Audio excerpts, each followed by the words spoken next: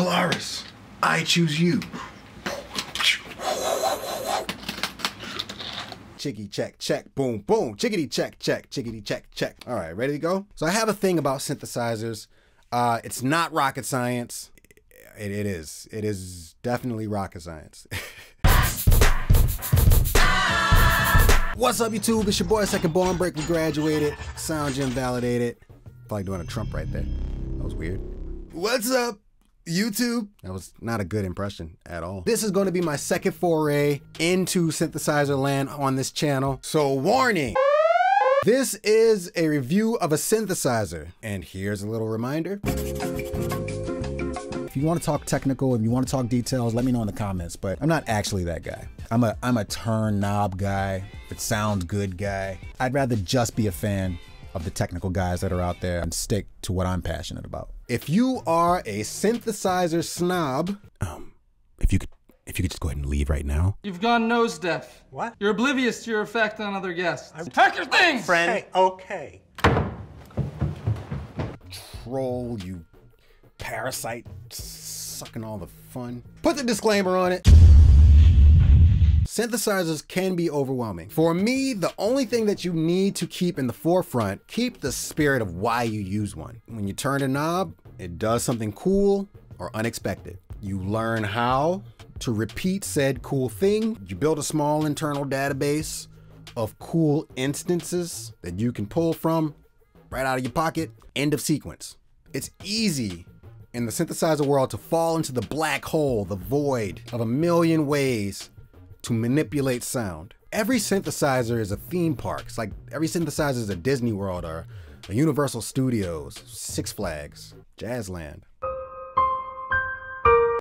I'm from New Orleans. Learn learn some things. Learn your synthesizer, learn your tool, but keep your harness on the whole time, you know? Because the moment you become a mad scientist, you venture out too far into space, it's, it's hard to come back from. We just want you back home, back home making music. We, we want you here making songs with us. You're one of us. Google gobble one of us. There's a great big multiverse out there. This is a let's get on the ride, do a couple loop de loos, and go home. We good? We good? Pound it. Come on, man, don't leave, don't leave me hanging. We're taking a small bite into the vast world of synthesizers. We're taking a look at the Arturia MicroFreak. So let's unbox it, take a look.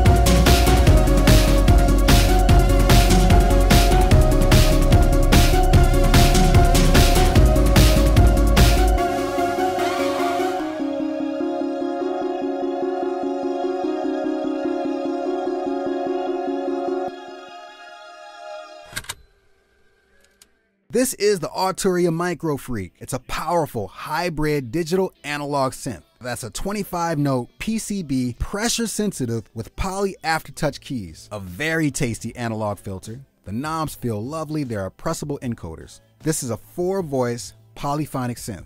Digital oscillator with multiple modes. The very nice pitch bend strip with two envelopes an arpeggiator and sequencer, a standard LFO, and an assignable modulation matrix that takes you to endless worlds of sound manipulation. A 64 step sequencer that's fully automatable. You can record up to four automations.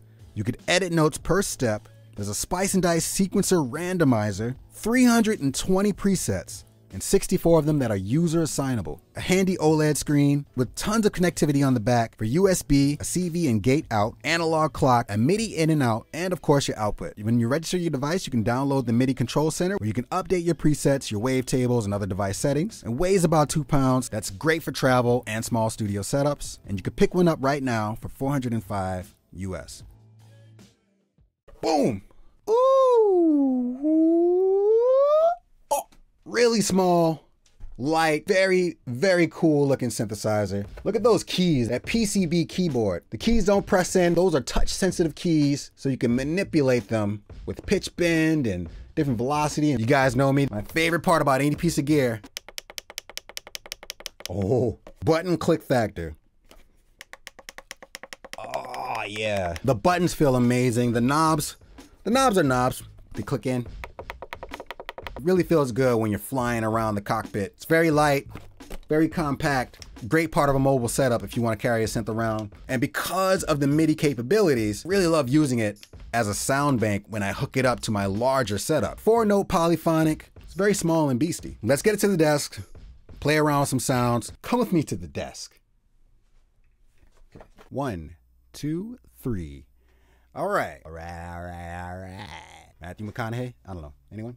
Is Arturia makes the best sounding oscillators in the game. Take it from me, Morgan Freeman. Little Morgan Freeman. All right. They have everything pretty much laid out in a manner that you can understand. It's very simple. You have your matrix section, which is on the top left. You have your OLED screen that um that gives you the feedback depending on the parameter that you select, and you can cycle through. You have your you have your paraphonic button that turns on and off your paraphonic and polyphonic options. Your preset knob lets you cycle through your presets. There's a save button there. You can save whatever changes you've made to your, your preset. You have the utility feature that lets you cycle through the different settings on the unit. You have your master volume on the far right. You have the glide option.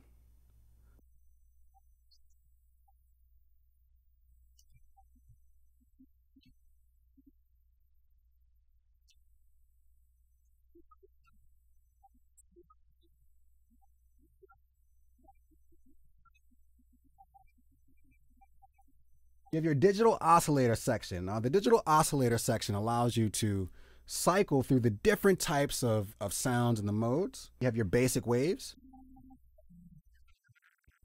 You have your super wave. You have your wave table. Karplus Strong. The analog. Wave shaper your 2-op FM formant, chords, you have your speech, you have your modal, noise, you have your saw, bass, you have your you have your harm. All the meat and potatoes of your tone starts with your digital oscillator. You could select your type of meat and potato. Then you can further tweak it via the wave, timbre, or shape knobs.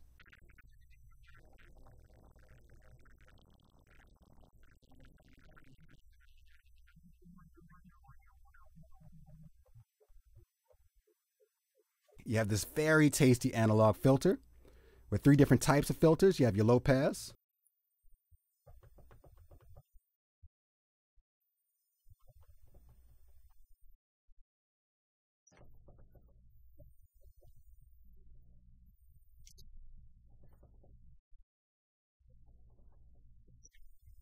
So three different types for the analog filter. And then you also have your resonance knob. You can get really nasty with it if you need to.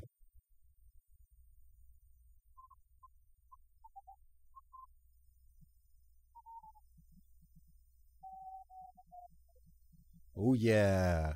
You have your cycling envelope with three different modes. You have your envelope, your run, and your loop. You have your octaves. You also have your arpeggiator section.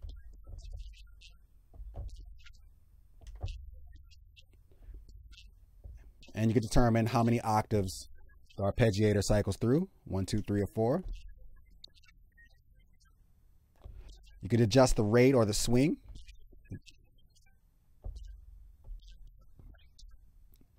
Holding down the shift button allows you to access the secondary function that's labeled on the knob. There's the LFO section with different shapes that you can cycle through. And then finally, you have your envelope section on the far right. You can toggle the amp mode on and off, adjust the attack, decay, sustain, and the filter amount, all the usual suspects. And then you have your pitch bend, and then you have your pitch bend bar.